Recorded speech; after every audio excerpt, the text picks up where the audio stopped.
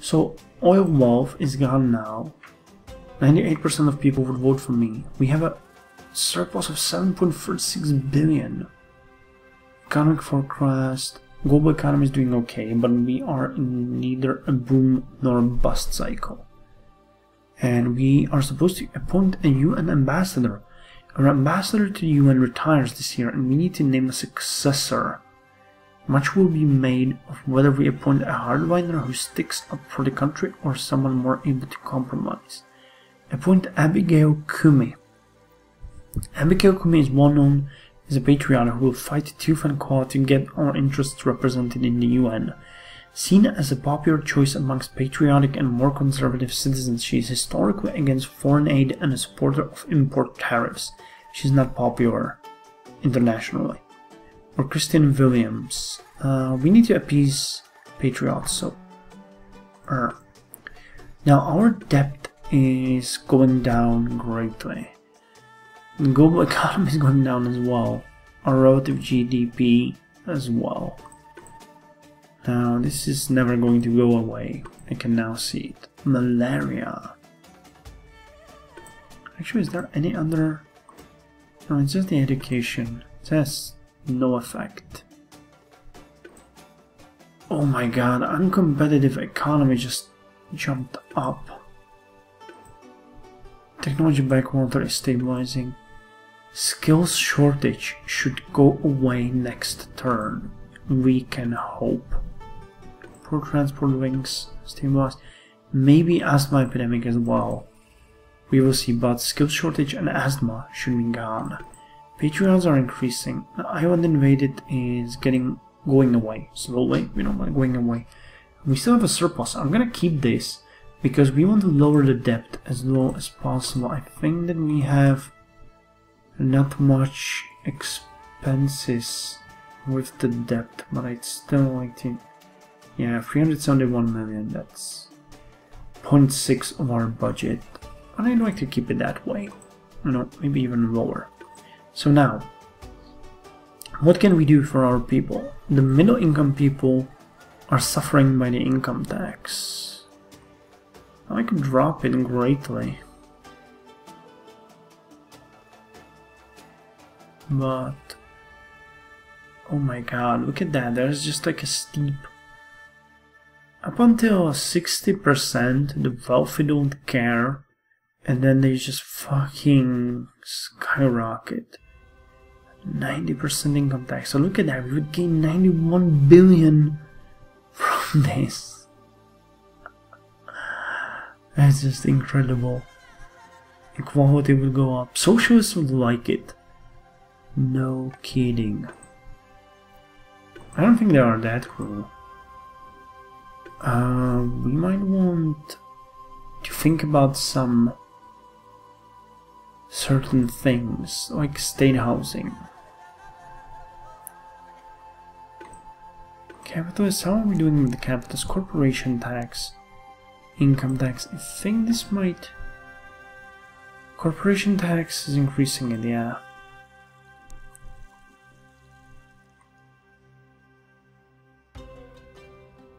If we lowered it, we would get better, but uh, I don't want to cut it. Corporations needs to be taxed, at least a bit. I'd much rather have tax shelters.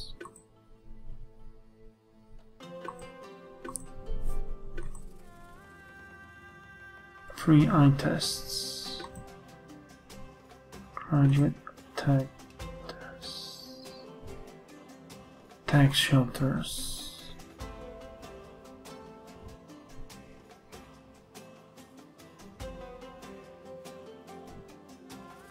Hmm. Organic farming subsidy. I don't know, I think we pretty much nailed it at this point. We just need uh, to think about things. One, one thing that I just uh, realized is that we need to uh, increase the education. Are we paying enough for schools? We could increase this. Lowers unemployment, education, socialists and poor like it. Private schools are lowered, equality. Much more? Oh, that's 3 billion.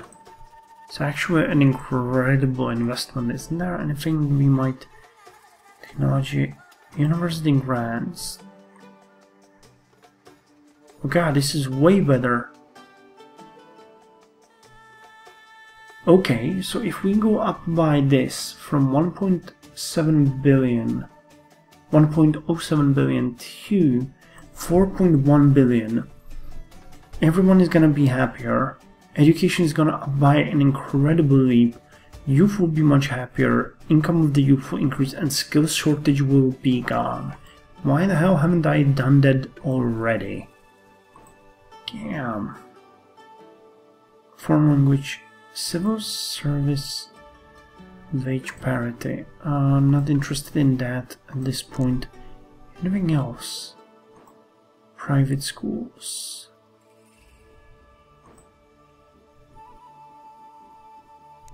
Where is education? Anything else? Gender inequality, foreign aid, technology. Well, we pretty much nailed it, really. How's the... Damn. My cabin really likes me. And they're getting way more experienced with what they're doing. That's awesome. Way to go, guys. Uh, so that should help with everything. Technology. Science funding is awful. Okay, that would be great, but we don't have the money. So I really can't do that at this point though. Technology colleges are kicking in. Gonna overcome this eventually. I'll leave this for now. Uh, we'll invest in that when we get things done. Productivity, unemployment, technology, education, health, adult education subsidies. Alcohol consumption is going down. Okay. What else? Wages. Health. Health is increasing, that's good. Working week, malaria. Yeah, we need to find malaria. It's pretty much the only thing that I can do. What about infrastructure? Toll roads, technology, road building, foreign investment, foreign aid received, education, state health service private healthcare. Hmm. What's the maximum we can get? 48. We're gonna get 30. So let's pass a turn, and see what's gonna happen. Oil price spike. A sharp increase in global demand for oil has caused its price to spike. The pump price of fuel has skyrocketed, resulting in a backlash from car owners and businesses alike. The cost of a fuel subsidy to alleviate the situation would cost 600 million. Do nothing. It is a free market and using subsidies to interfere with domestic commodity prices is a short-term solution. Those reliant on oil may develop a dependency for subsidized fuel, creating a long-term liability for the government. For subsidized fuel, Maintaining the integrity of the free market is not worth the acute damage that will be done to the economy by high fuel prices. All markets are cyclical and careful management of future fuel duties can be used to pay for temporary subsidy. Now, we're to subsidize and help. Subsidize and help. Education is on a rise, health is on a rise, unemployment and crime eliminated and poverty is very low. GDP, no, really bad. Yeah, the global economy is just fucked. Look at that. But we're still in a surplus. That's good. Debt went down, then it went up really high, and then it's going down. What's our credit rating? AA. Okay, we might get a triple A soon. We'll see. So the youth now likes us, state employees likes us, and patriots are liking us more and more. Okay, island invade is gonna go away. Uh, I'm sure so they will like us then. What about ethnic minorities? Okay, they're they're okay. Citizens, citizenship, citizenship citizenship test. Wow. Does not piss them off that much. That's good. Skills shortage. Goodbye. Technology backwater might go away. If we get rid of this and economy gets a bump, uh, we might see a huge increase in income, which I then might just invest single-handedly into technology. Oh would be good. We would get rid of the malaria then. Come on, asthma? Yeah, asthma is gonna go, go away too. So we now have 48 capital. We still can't enact national service. That's really fun. Child benefits, they would be good, but... Is there anything... Financial services regulation, this would piss off capitalists greatly. Religious rest a day. Heroin tax. Well, we have mansion tax. I like this one. I really like this one because it brings you a lot of income, but it pisses off a lot of you. Oh, a flat rate income tax is a tax where every citizen pay the same marginal rate of income tax regardless of their total income. As a result, the cleaner in the office pays the same rate as the CEO, though the CEO's total tax bill will be higher. The simpler structure can lead to lower avoidance and evasion. It is not progressive and can exer exer well, exacerbate income inequality. I have a feeling that we're gonna invest uh, into this. We would, it would cost us 43, but I'm, I'm greatly, greatly in uh, vote for the income tax. Canceling this one would cost us 13. So what we need to do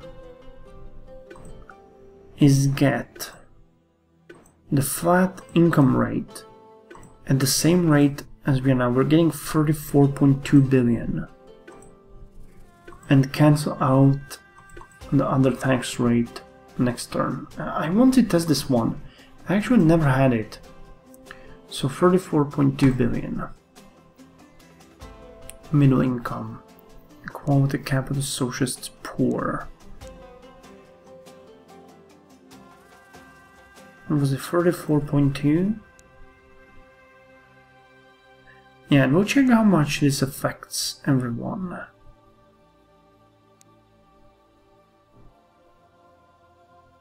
Raising it is free, lowering is it free? Okay, so middle income 27% and poor 29 What about the normal one? Middle income 37 but poor only 3 Okay, that's interesting. We'll see an incredible bump now uh, once we end the turn, but we have to do that. Asthma is gone, skills shortage is gone, and mineral wealth is gone. We have a 38.2 billion surplus, and still 99% of people would vote for us. Education, oh my god, look at what the skills shortage did. Airplane crashes during storm. So we pretty much paid most of our debt. But now what I need to do is cancel out this income tax. Okay, so income tax is gone. Uh, middle income, yeah, they're they're pissed, but I'm in favor of the flat tax rate. I know this is a bit iffy for some, but I like it. You know, I, I feel that it's the only fair system as far as taxation goes. Yes, there can be additional taxes. I'm not saying there can't be, but, you know, I like this one. I don't like this one. So by the way, we had a we have a surplus now of 3.05 billion. Okay, that's recalculated as I see. Oh my god, look at that and their relative GDP went uh, up really high. I'm gonna introduce something small now. Let's get um, junk food tax is a bit problematic, but let's get it. Yeah, youth and poor hates it, but it increases health. It's important for me. So now let's end the turn. And oh my god, budget has 15.2 billion surplus. Credit rating upgraded to triple A, and 100% of people would vote for me. Yeah, no one is really pissed. That's awesome. So now technology, science funding. We have 15 billion. So let's roll. I'm gonna greatly increase the spending. That might fix some of our problems. Employment and other things. This might bump up the GDP again. Uh, but I still feel like we might want to invest a bit more into certain things. Uh, let's have a space program. no, we're gonna get this one, but uh, not for now. Government Code of Conduct. I like this one. Lowers corruption, Liberals like it. It doesn't cost much, and democracy increases. What about legal aid? I like this a lot too. Liberals, poor, socialist, equality, and poor earnings. And anything else that we don't have pensions, and we don't have you know, child benefits, but for now that's... I would like that, but we can't do it at this point. Health tax credits, school tax credits. You know what, we want to get green fuel subsidy. Environment, environmentalist, motorists, and income. Okay, that seems like a good choice. Achievement unlocked. One party state. Congratulations, you have all but banished the thought of any other political parties from the minds of the electorate, reducing other politicians to mere has-beens. In a Green Utopia, you truly have made this country a green and pleasant land, free from the horrors of pollution, wow, waste and damage to the climate. We and the planet thank you. So GDP is going up. 100% of people vote for us. Budget surplus is 7.84 billion. Education is going up. Global economy is in recession, but we're doing fine. Residential credit facilities. Citizens are able to consume with the use of credit cards. A stable and lawful lending environment has led to banks freely offering microloans. The blanket issuance of residential credit will drive spending in the economy. However, some citizens will find their debt become becomes unmanageable, driving them into poverty. Oh, I get it. And foreign liberation movement. Rebel forces from a neighboring country are seeking sanctuary. We have traditionally been sympathetic to their cause, and it would benefit them greatly to base their operations out of our territory. They are fighting to displace an oppressive authoritarian regime in their own nation. Agree. By harboring this revolutionary organization, relations with, will sour with our international neighbor. However, it is a price worth paying for the chance of electing regime change, of effecting regime change in an undemocratic country, or deny. The winds of change will blow regardless of whether sympathetic nations direct aid these revolutionary freedom fighters. Why jeopardize trade and No, we're gonna agree. I really believe in interventionism. Okay, our debt is effectively gone. Nice. It's awesome. What about the technology backwater is gonna go down soon, 16. yeah, the implementation will take time, but you know, it's gonna go down it's going to go down. Technology is going up. Uh, this is just gonna... What about malaria? Yeah, it's it's gonna go down soon. Not low enough though. I think the trigger will never be passed. What about the infrastructure? We have a huge surplus. We might want to use it to do some good. Now, yes, child benefits would be good, uh, pensions would be more good. But let's see what we're expending our money on. State Health Service. Poor, socialist, health, underlay. State employees, state employees, equality, private healthcare, and malaria is gonna go away. Why do capitalists hate it though? What they like me now is the GDP? Yes, is the GDP. The credit facilities and the stock exchange. Good. Good, you are welcome. What else are we spending on state schools? Poverty, unemployment, private schools, equality. Might be good, but what else? Military science funding is at max. University grants are at max. Technology grants are at max. Rebuilding enterprise investment scheme is at max. Green energy subsidies, food stamps.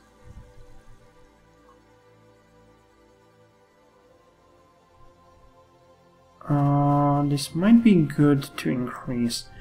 Poor will benefit from this. Now, what about the poor earnings? They're going up, so it's not really that important.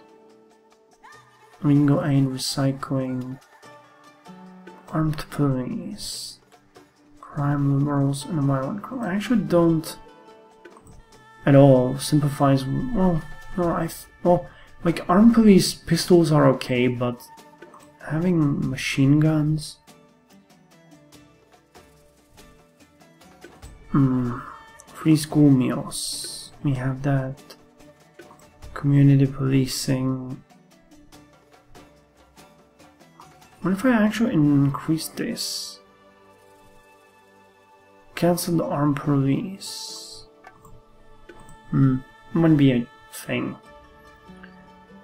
Documenting initiative, jury trial, public libraries. Public libraries! Oh my god, yeah! We want this!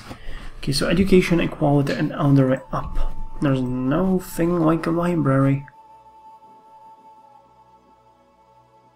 Pollution controls. Child labor. Okay, this... How the fuck is common child labor increasing GDP? I'm seriously appalled by even having this in the game, but...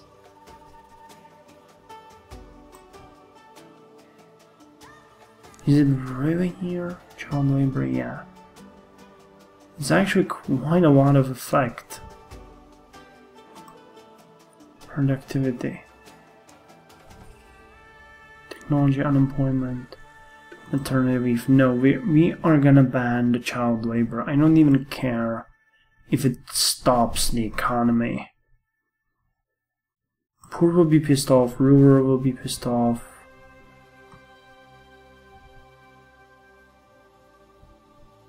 But education will go up.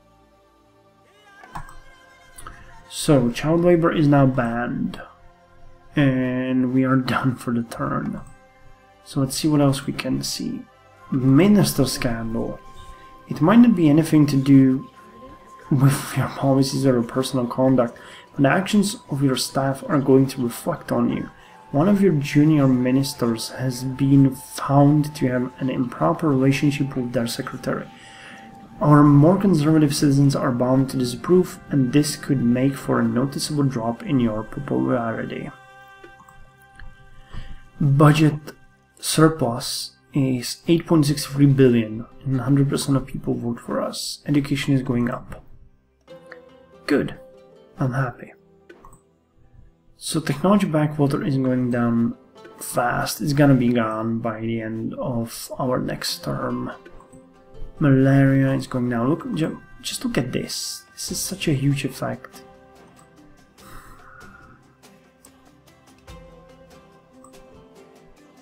How are ravages doing? I don't like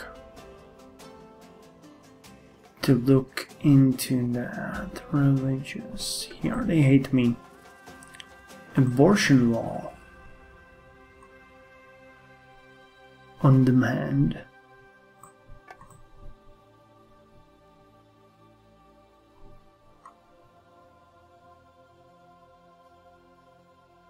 Life threatened.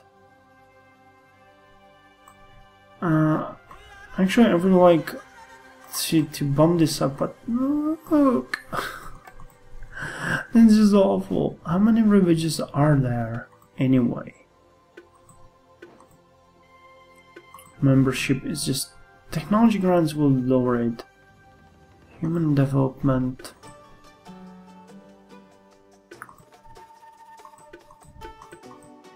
We just make them super paste.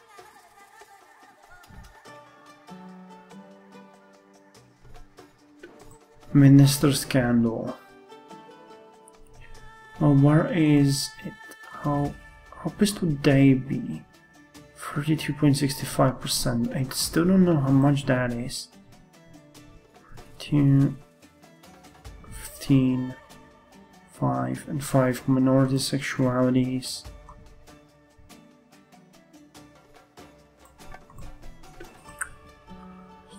We might um,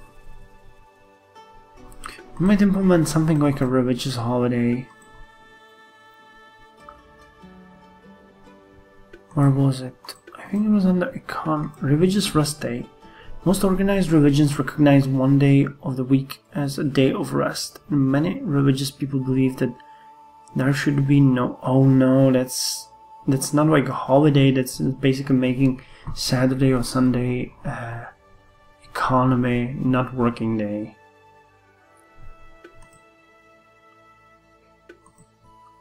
which is not at all what I wanted.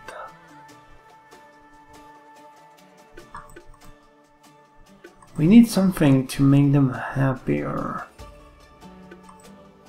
But I don't know what.